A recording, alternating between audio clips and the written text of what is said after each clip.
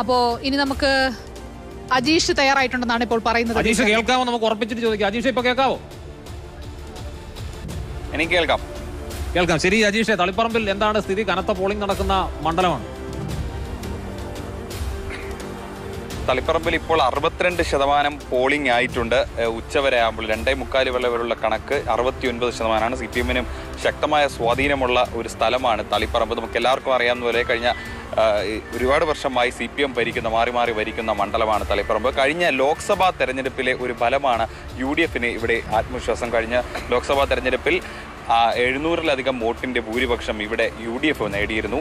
ഇതാണ് U D എഫിന്റെ ഈ മണ്ഡലത്തിലെ പ്രതീക്ഷ. ഇന്ന് ചില സ്ഥലങ്ങളിൽ തളിപ്പറമ്പ് മണ്ഡലത്തിലെ ചില സ്ഥലങ്ങളിൽ പ്രത്യേകിച്ച് സി പി എമ്മിന്റെ കുത്തക മേഖലയായ ആന്തൂർ പോലുള്ള സ്ഥലങ്ങളിൽ ചില സംഘർഷങ്ങളുണ്ടായി.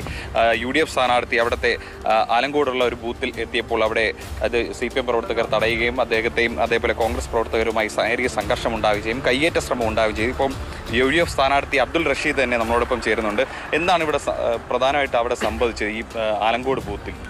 തളിപ്പറമ്പിലെ തെരഞ്ഞെടുപ്പ് പൂർണമായും ഇടതുപക്ഷ സ്ഥാനാർത്ഥി നേരിട്ട് അട്ടിമറിച്ചിരിക്കുകയാണ്. വോട്ടർ പട്ടികയിലെ മുഴുവൻ വോട്ടും പോൾ ചെയ്യുന്ന അദ്ദേഹത്തിന്റെ മിനിയാന്നത്തെ പ്രസ്താവനയോടുകൂടി പരസ്യമായി കള്ളവോട്ടിന് ആഹ്വാനം ചെയ്യുകയും അത് അണികൾ ഏറ്റെടുക്കുകയും ചെയ്ത് ചരിത്രത്തിൽ ഏറ്റവും ശാസ്ത്രീയമായ ബൂത്ത് പിടുത്തവും കള്ളവോട്ടും ഈ തെരഞ്ഞെടുപ്പിൽ നടന്നു എന്നുള്ളതാണ്. സാധാരണ അത്യാവശ്യം ചില ബൂത്തുകളിലും യു ഡി യു ഡി ഇരുത്താറില്ല. ബൂത്തുകളിൽ ഇരിക്ക ഇരിക്കാറുണ്ട്. അതുപോലെ ഇത്തവണ നടന്നില്ല. മുപ്പത്തിയഞ്ച് ബൂത്തുകളിൽ മുപ്പത്തി മൂന്ന് ബൂത്തുകളിലും പൂർണമായും തുടക്കം മുതൽ സി പി എമ്മിന്റെ കയ്യിലായിരുന്നു.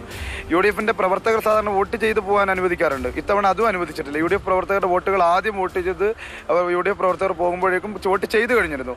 സ്ഥാനാർത്ഥി എന്ന നിലയിൽ ഇന്ന് രാവിലെ ഇടതുപക്ഷ സ്ഥാനാർത്ഥിയുടെ വീടിരിക്കുന്ന മൊറാഴ ഹയർ സെക്കൻഡറി സ്കൂളിൽ ഞാൻ പോയപ്പോൾ നൂറ്റി പത്താം നമ്പർ ബൂത്തിൽ എന്റെ മുന്നിൽ വെച്ചാണ് ഈ ഇരുപത്തിയേഴ് വയസ്സുകാരന്റെ വോട്ട് എഴുപത് വയസ്സുകാരൻ ചെയ്യുന്നത്.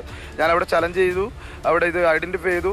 സ്വാഭാവികമായും ബൂത്ത് ലെവലിൽ ഓഫീസർ ഫസ്റ്റ് ലെവൽ ഓഫീസർ ഇത് പറഞ്ഞു യഥാർത്ഥ വോട്ടറില്ല എന്ന് പറഞ്ഞപ്പോൾ പ്രിസൈഡിംഗ് ഓഫീസർ നിസ്സഹായിരിക്കുന്നുണ്ട് പോലീസിന്റെ മുന്നിൽ വെച്ച് ഈ വ്യാജ വോട്ട് കള്ള വോട്ട് ഈ വ്യാജ വോട്ടർ ഇറങ്ങി ഓടുകയാണ് സി പി എം നേതാക്കന്മാരുടെ സഹായത്തോടുകൂടി. അത് കഴിഞ്ഞത് മുതൽ ഒരു ബൂത്തിലും എന്നെ കയറാൻ അനുവദിച്ചു എല്ലാ ബൂത്തിലും എന്നെ തടഞ്ഞു. തടഞ്ഞെങ്കിലും അവിടെ ഒച്ചപ്പാടും ബഹളവും ഒക്കെ ഉണ്ടാക്കി ഞാൻ എല്ലാ ബൂത്തിലും കയറിപ്പോയി. എല്ലാ ബൂത്തിലും വാഹനം തടഞ്ഞു. ഒരു ഘട്ടം കഴിഞ്ഞപ്പോൾ പോലീസ് വന്ന് കുറച്ച് സ്ഥലങ്ങൾ പോലീസിന്റെ പ്രൊട്ടക്ഷൻ ഉണ്ടായെങ്കിലും അയ്യന്തോളിലെ ബൂത്തിലെത്തിയപ്പോൾ ബൂത്തിൽ നിന്ന് ഏജന്റുമായി സംസാരിച്ചുകൊണ്ടിരിക്കുക എന്നെ പിടിച്ചിറക്കാൻ നോക്കി. എന്നോട് ഇറങ്ങിപ്പോടാ എന്ന് ആക്രോശിച്ച് കയ്യേറ്റം ചെയ്യാൻ ശ്രമിച്ചു. ദേഹത്ത് പിടിച്ച് തള്ളി. അപ്പോൾ സ്വാഭാവികമായും ചെറിയ രീതിയിലൊരു സംഘർഷം ഉണ്ടായി ആ സംഘർഷത്തിന്റെ മറവിൽ ആ ബൂത്തിൽ നമുക്ക് അത്യാവശ്യം സ്വാധീനമുള്ള അന്തൂരിൽ ആന്തൂരിൽ സ്വാധീനമുള്ള ഒരു മേഖലയാണ് കടമ്പേരിയും ഈ അയ്യന്തോൾ ഉൾപ്പെടെ. അവിടെയുള്ള മുഴുവൻ യു ഡി എഫിലെ വോട്ടർമാരെയും പ്രായമായ ഉമ്മമാരെയും പ്രായമായ സ്ത്രീകളെയൊക്കെ മുഴുവൻ അടിച്ചോടിക്കാനുണ്ടായിരുന്നത്. ഒരാളെ പോലും വോട്ട് ചെയ്യാൻ സമ്മതിച്ചില്ല അത് മാത്രമല്ല എല്ലായിടത്തും പാർട്ടിയുടെ ചെക്ക് പോസ്റ്റുകളാണ്. അതായത് ബൂത്തിന്റെ എല്ലാ വശത്തും പാർട്ടി ചെക്ക് പോസ്റ്റുകൾ കെട്ടിയിട്ട് സി പി എം പ്രവർത്തകരെ മാത്രം ഉറച്ച സി പി എം പ്രവർത്തകരെ മാത്രം കയറ്റിവിടുകയും മറ്റുള്ളവർ മുഴുവൻ തങ്ങൾ വോട്ട് ചെയ്തോളാം എന്ന് പറഞ്ഞ ആളുകൾ നേരത്തെ പറഞ്ഞ തന്നെ ഉച്ചയോട് മാത്രമല്ല, പിന്നിടുമ്പോൾ ഇത്തരത്തിലുള്ള ആരോപണങ്ങൾ ഒരുപാട് രാഷ്ട്രീയ പാർട്ടികളുടെ ഭാഗത്തു നിന്നും വെബ്കാസ്റ്റിംഗും ഒക്കെ ഉണ്ടായിട്ടും ഇത്തരം ആരോപണങ്ങളൊക്കെ എന്തുകൊണ്ടാണ് ഉണ്ടാകുന്നത്? ഉള്ളതാണ് പറയുന്നതെങ്കിൽ. കാരണം സി പി എമ്മിനെ സംബന്ധിച്ചിടത്തോളം സി പി എമ്മിന്റെ കേന്ദ്ര കമ്മിറ്റി അംഗമായ എം വി ഗോവിന്ദന്റെ മണ്ഡലത്തിൽ നിന്നാണ് ഇത്തരം പരാതികൾ ഉയരുന്നത്. ഇത്തരം പരാതികൾ സ്ഥിരമായ മേഖലയിൽ നിന്ന് കേൾക്കാറുള്ളതാണ് നടപടികൾ ഉണ്ടായി കണ്ടിട്ടുമില്ല. ഏതായാലും നമുക്കൊരു